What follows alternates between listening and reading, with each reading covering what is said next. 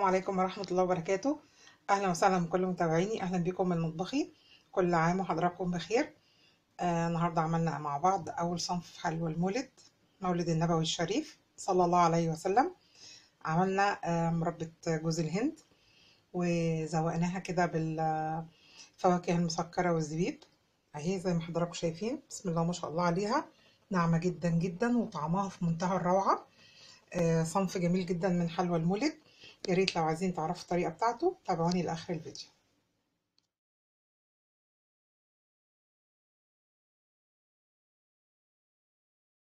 السلام عليكم ورحمة الله وبركاته. أهلا وسهلا بكل متابعيني أهلا بكم من مطبخي كل عام وحضراتكم بخير. آه النهاردة عملنا مع بعض أول صنف حلوى المولد مولد النبوي الشريف صلى الله عليه وسلم. عملنا آه مربى جوز الهند وزوقناها كده بالفواكه المسكرة والزبيب. أهي زي ما حضراتكم شايفين. بسم الله ما شاء الله عليها. ناعمة جدا جدا وطعمها في منتهى الروعة. آه صنف جميل جدا من حلوى المولد. يا ريت لو عايزين تعرفوا الطريقة بتاعته تابعوني لآخر الفيديو. السلام عليكم ورحمة الله وبركاته. اللهم صل وسلم وبارك على سيدنا ومولانا محمد صلى الله عليه وسلم. حبيبي يا رسول الله كل سنة وحضراتكم طيبين. آه بمناسبة المولد النبوي الشريف إن شاء الله أعد الله عليكم باليمن والبركات يا رب إن شاء الله. آه إن شاء الله النهاردة هنعمل نوع من أنواع حلويات المولد آه وهي مربى جوز الهند. هي اسمها كده مربى جوز الهند آه اللي هي بيكون فيها سكر كده وبتدوب في البق وبتبقى جميلة قوي آه أنا عن نفسي بحبها جدا وعندي هنا بيحبوها قوي أنا هعمل بس بعض أصناف اللي ولادي بيحبوها واللي زوجي بيحبها يعني. عشان في بعض حاجات بصراحة في حلاوة المولد آه إحنا ملناش تقل عليها. فعشان كده هنعمل بقى مع بعض إيه حاجات معينة. آه المقادير بتاعتها 250 جرام سكر معايا 80 ملي مية معايا 100 جرام جوز هند 125 جرام جوز هند. هنشوف كده هي هتاخد قد إيه. ده جوز هند ناعم يعني مبشور ناعم وأنا عملته في الكبة كمان على أساس ان أنا عايزاه ناعم أو عايزاه بودر كده. تمام؟ وهناخد معانا آه معلقة صغيرة آه اللهم صل على النبي عسل جلوكوز معلقة صغيرة عسل جلوكوز أهو. ده عسل نوعية جيدة يعني من النوعيات الجيدة. آه هو بقى معلش يعني هو دوت لازم بيتعمل في في حلويات المولد عشان هو اللي بيدي ال taste بتاعها عشان يعني تديك ال taste والطعم بتاع المصانع. هنروح بقى نسمي الله كده ونروح على البوتاجاز عشان نبدأ نشتغل مع بعض. كل سنة وحضراتكم طيبين. وهنبدأ دلوقتي حبايب قلبي. أنا حطيت آآ آآ عندي طاسة ستانلس حلة ستانلس أي حاجة. بس المهم يكون جدارها سميك علشان خاطر الشربات بتاعنا ما يتحرقش بسرعة. تمام؟ على أصغر عين في البوتاجاز عندنا. وممكن نوطيها كمان شوية. هنسمي الله ونحط 80 ملي المية بتاعتنا. وهننزل عليها بالربع كيلو السكر. هنعمل إيه بقى دلوقتي؟ هندهن المعلقة الصغيرة اللي أنا هاخد بيها عسل الجلوكوز هندهنها بال هندهنها بالزيت علشان خاطر العسل يتزحلق منها. بسم الله.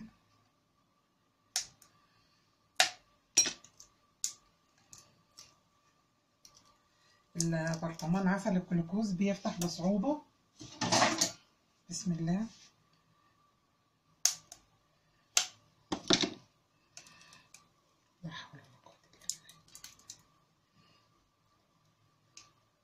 طب ماشي أنا هفتحه وهرجع لكم تاني. دلوقتي هنبل المعلقة بتاعتنا بالزيت وناخد معلقة صغيرة من عسل الجلوكوز. أهي. زي ما حضراتكم شايفين بصوا بتتزحلق إزاي. دي حاجة كويسة جدا فيها يعني ان إحنا ندهنها بالزيت قبل ما نحطها على النار. وهنسمي الله بقى وهنبدأ ندوب السكر مع عسل الجلوكوز والمية. وهنسيبهم على نار هادية لمدة خمس دقايق مع التقليب. وهتيجي عند عند درجة معينة وأنا هقول لحضراتكم إن هي كده الدرجة دي كده خلاص السكر بتاعنا استوى وننزل له جوز الهند.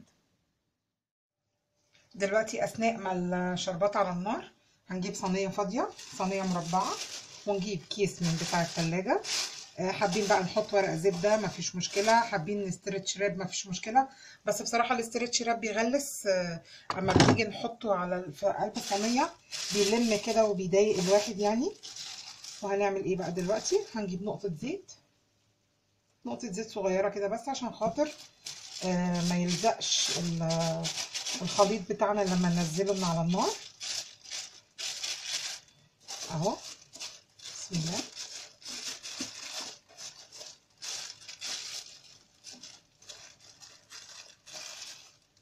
اهو بالشكل ده كده. كده إحنا حضرنا الصينية.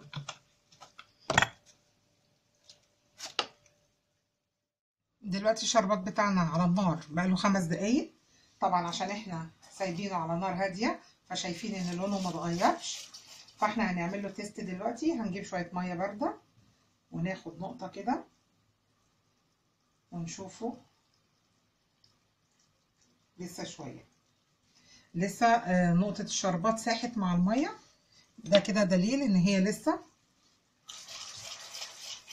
أهم حاجة عندنا إن الحروف بتاعتنا أنا بنزلها بالسيليكون وممكن حضرتك لو النار عندك أعلى من كده والحروف طلعت على جناب ال ال الإناء اللي انت شغالة فيه لازم تمسحيها بفرشة فيها مية. بس أنا مش محتاجة لأن الحمد لله مفيش حاجة احمرت من أهي. إحنا مع بعض خطوة بخطوة. دلوقتي إحنا كده خلاص عدى كده حوالي 8 دقايق على الشربات بتاعنا. أنا عملت له اختبار كده بإيديا لقيته لزج يعني خلاص كده إحنا هنقفل عليه النار وهنبدأ بقى. إحنا مش عايزينه ينشف قوي ويعضم عشان ما يبقاش طوب. إحنا عايزينه يكون ناعم. هنسمي الله وهننزل بقى بجوز الهند بتاعنا ونقلب بسرعة جامدة جدا زي ما حضراتكم شايفين كده. بسم الله ما شاء الله ولا قوه إلا بالله. كده هو لسه عاوز تاني؟ ما شاء الله. هو كده ال- المعيار بتاعنا أخد آه، 125 جرام جوز هند. خلاص كده هنروح بقى نصبه مع بعض بسرعة بسرعة بسرعة في الصينية علشان خاطر ما يجمدش دلوقتي بقى أنا حطيت الكيس هنا هننزل عليه ال- السكر بتاعنا عشان ده بينشف بسرعة جامدة جدا.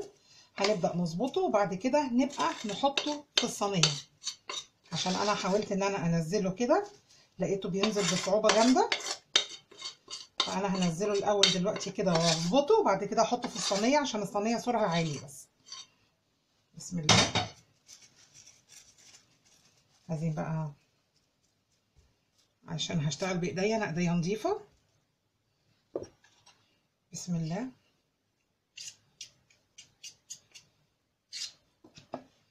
ما فيش مشكلة هو سخن شوية. أنا إيدي واخدة على ال- الحاجات السخنة. هنبدأ بس نحط ده كده سريعا. عشان خاطر يبدأ يمسك فيه. أنا شغالة في بيتي لولادي. يعني ما فيش أي مشكلة عندي إن أنا أشتغل بإيدي عادي خالص. لو حابين نحط شوية آه، زبيب ما فيش مشكلة. أهو كم واحدة زبيب كده. نغرزهم كده. لازم يبقى الشغل فيه سريع شوية عشان ده بينشف بسرعة جامدة عشان السكر اللي فيه.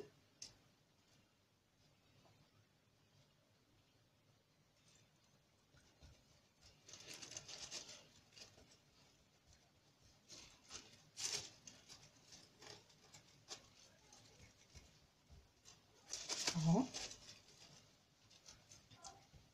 أنا مش عندي أي مشكلة إن أنا اشتغلت بإيديا اللي يعرف يملك يشتغل ب...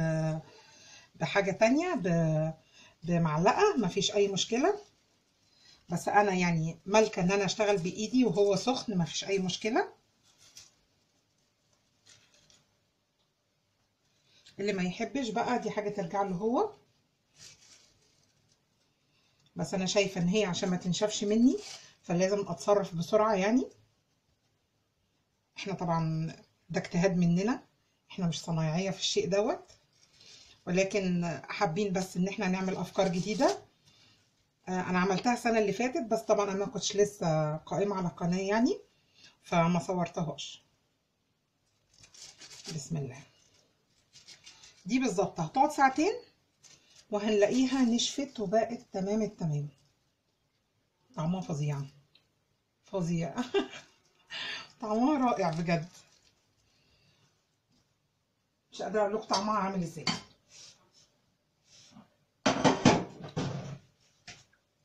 هنسيبها بقى هنحطها في صينية آه، مفرودة تبرد وبعد كده نقطعها مع بعض. دلوقتي حبايب قلبي بعد مرور حوالي ساعة كده أو ساعة ونص آه نبدأ بقى نسمي الله كده ونقطع ال- المربى بتاعتنا.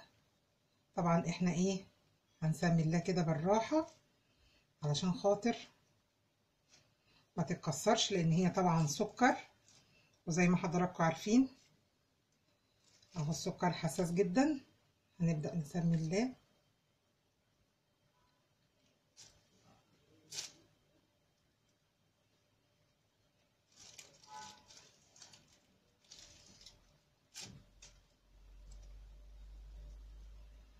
نبدأ عليها كده بالراحة.